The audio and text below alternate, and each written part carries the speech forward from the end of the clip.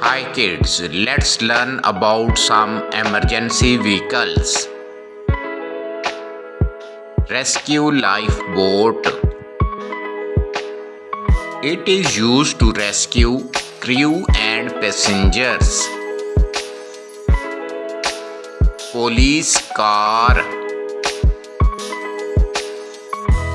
It is used for patrolling.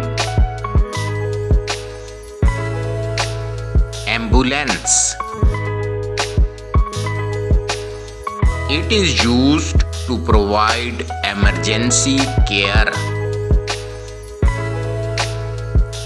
Fire engine. It carries firefighting equipments. Air ambulance. It is used to shift patients by air.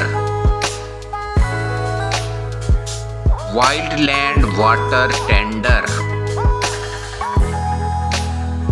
It brings water, foam or dry chemicals to fire trucks. Firefighting helicopter. It helps for firefighting. Thank you for watching. Please subscribe. Bye bye.